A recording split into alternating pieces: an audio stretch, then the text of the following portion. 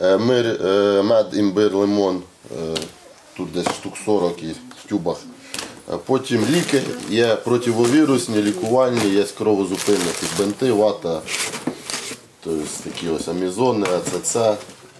Павло Собко розповідає, що цього разу повезе у зону операції об'єднаних сил. Зібрати усе це йому допомогли волонтери, учні та вихованці черкаських шкіл і дитсадочків.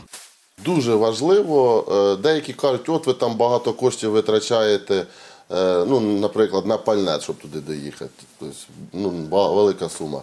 Але там можна новою поштою, але тут головне, що хлопці відчувають підтримку там, населення, там що саме ті ж дитячі малюночки, коли ти там привозиш їх, хлопці тебе обнімають, аж кістки хрустять, кажуть, ти передай, що ми там за них, за цих діточок стоїмо. Ну, головна підтримка.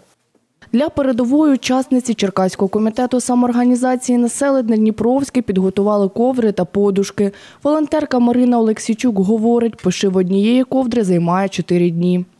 У нас бабушки за 70.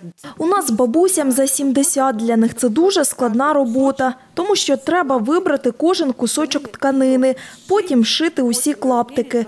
Надалі виміряти, додати синтепон і основу. З усього, що у нас є, з того й робимо. Звісно, ця праця кропітка, але коли знаєш, для кого ти її робиш, то своїх зусиль не рахуєш. Тетяна Богомол плете сітки з 2014 року. Розповідає, на одну сітку витрачає тиждень. Я як в'яжу цю сітку, я всю душу в нього вкладаю. Я вкладаю і знаю, що кожна сітка вона може захистити наших хлопців, е, прикрити від, е, від усього, приховати їх трошки. Від того душа болить. Руки вже звикли до того, вже навіть спочатку були мозолі, а зараз навіть мозолів немає. Вже так тільки пішла, навіть на темно можу в'язати.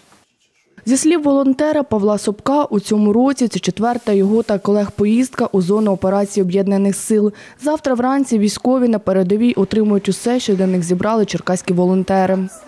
У нас починається наступна поїздка по завершенню цієї. От ми все вивеземо, потім ми зловсідаємо, обзванюємо хлопців, деякі є потреби. Ми не прив'язані до якоїсь конкретної бригади. Ми там хтось в Фейсбуці допомогу просить, хтось там якби через телефон десь знаходять контакти. Олена Нечитайло, Федір Коцаба. Новини.